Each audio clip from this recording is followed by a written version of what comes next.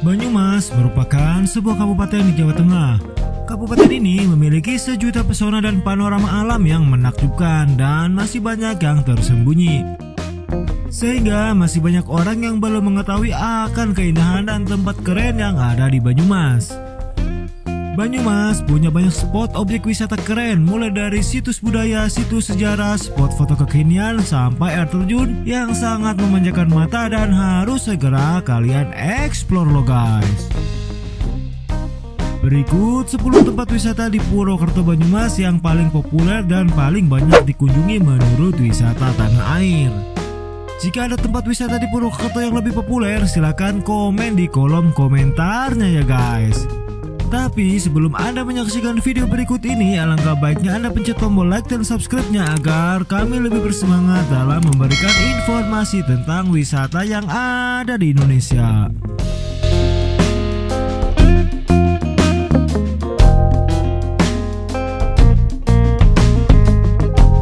Number 1.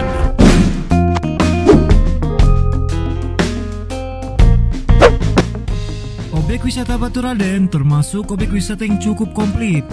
Di tempat wisata ini terdapat beberapa wahana wisata yang dapat dinikmati bersama keluarga. Seperti misalnya kolam renang, kolam luncur, sepeda air, terapi ikan, hingga pemandian air panas. Di kawasan ini juga ada kebun binatang mini yang bisa dikunjungi bersama keluarga. Selain itu, terdapat museum tempat menyimpan kerangka satwa Indonesia dan teater Batu Raden yang dikemas secara unik loh guys. Teater Batu Raden merupakan sebuah pesawat yang sudah disulap menjadi sebuah teater. Teater ini memutar film berdurasi 10 hingga 15 menit yang mengulas tentang kekayaan pariwisata, budaya, dan kekayaan alam Banyumas loh guys.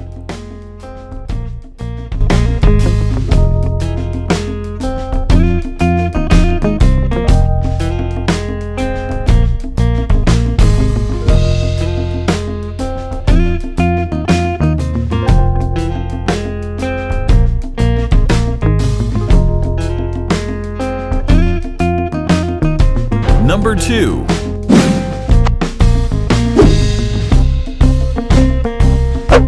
perlu jauh-jauh untuk melihat berbagai bangunan yang masuk dalam keajaiban dunia.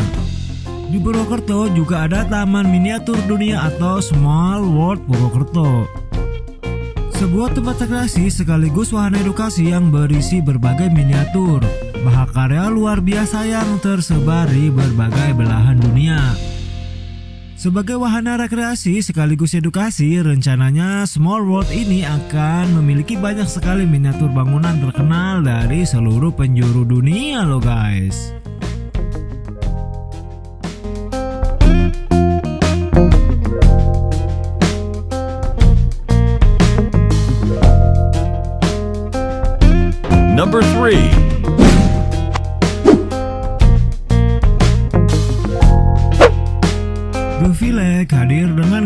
Unik ala Eropanya. Desain bangunan yang sangat berbeda sudah terlihat menyolok jika lewat jalan raya Batu Raden ini loh guys. Konsep utama yang diusung The Village adalah edukasi seputar dunia kesenian, pendidikan, budaya, dan hiburan. Dari depan terlihat bangunan tinggi besar dengan tembok bata memberi kesan klasik dan tidak ada duanya di Purwokerto. Dan kayaknya sih konsep ini yang baru yang ada di Jawa Tengah loh guys.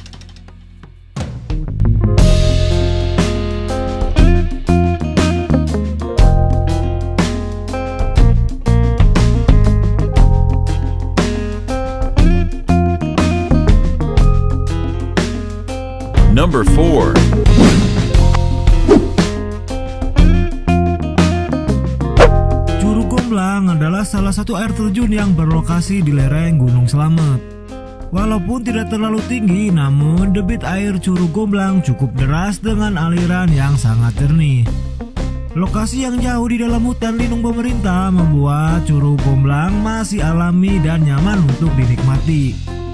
Tinggi air terjun sekitar 30 meter dengan tebing batuan andesit dan panorama alam yang eksotis di sekitarnya menjadi daya tarik tersendiri dari juru gomblang lo guys.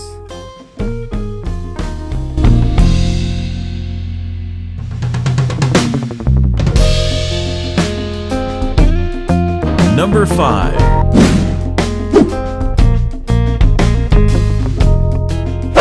Salah satu tempat yang populer di kalangan Instagramer adalah Bukit Badar atau yang dikenal juga dengan nama Watu Meja.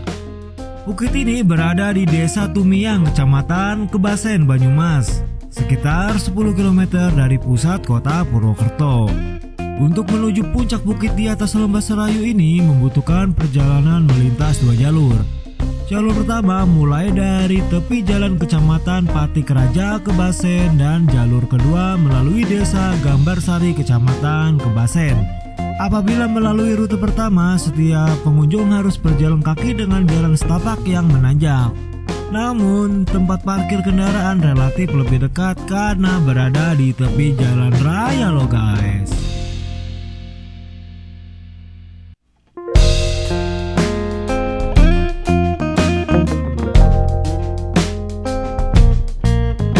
Number 6.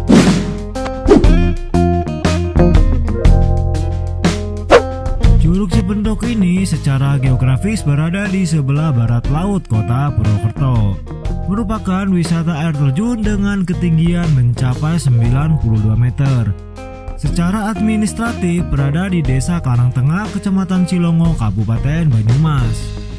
Pemandangan alam yang indah dan kesejukannya memang sangat terasa saat memasuki area wisata Curug Cipendok. Saat Anda berkunjung ke lokasi ini, Anda dapat melihat kera-kera bergantungan. Dan di atas Anda akan melihat dua ekor elang Jawa berputar-putar di atas bukit loh guys.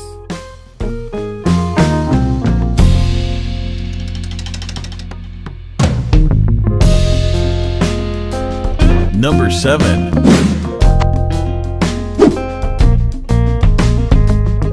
Curug Jenggala adalah sebuah air terjun di daerah Baturaden yang baru-baru ini menjadi wisata hits bagi para remaja di kota Banyumas. Lantaran viral di beberapa sosial media seperti Facebook, Instagram, dan Twitter.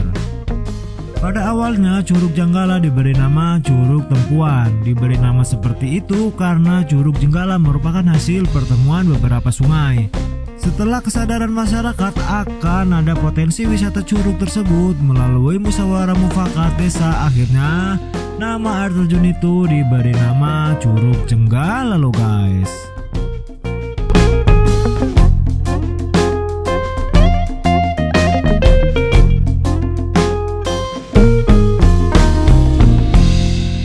Number 8.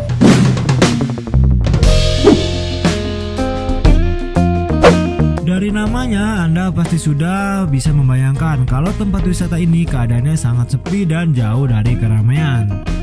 Tidak salah, objek wisata Telaga Sunyi memang agak jauh dari keramaian dan tidak seramai lokal wisata Batu Raden.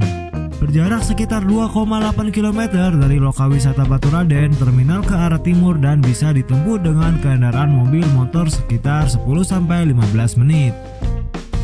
Cocok sekali untuk menyepi melepaskan kepenatan sejenak dari kesibukan sehari-hari. Telaga Sunyi Batu Raden menyajikan pemandangan alam yang hijau sejuk dan airnya yang sangat segar loh guys.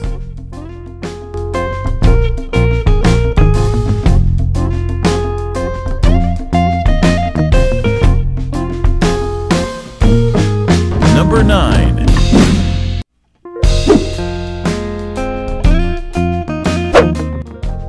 Destinasi wisata alam yang menarik di lereng selatan Gunung Slamet terus digali oleh masyarakat secara swadaya. Salah satunya adalah Bukit Dinar yang sedang dirintis oleh masyarakat Gerumbul Windusari, Desa Kalisalak. Upaya yang dilakukan ini telah mendapat respon terbukti cukup banyak pengunjung dan bahkan ada yang bermalam menikmati dinginnya udara segar. Untuk saat ini hanya dikenakan kocek buat parkir kendaraan, seikhlasnya saja loh guys. Jarak dari tempat parkir 500 meter dan aman karena dijaga oleh warga setempat loh guys.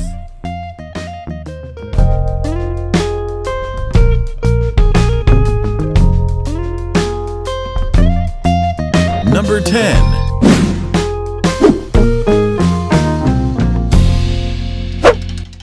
Masih berada di kawasan Kecamatan Baturaden, selain digunakan sebagai lokasi wisata, curug ini juga menjadi salah satu curug yang dimanfaatkan untuk menyuplai air masyarakat setempat.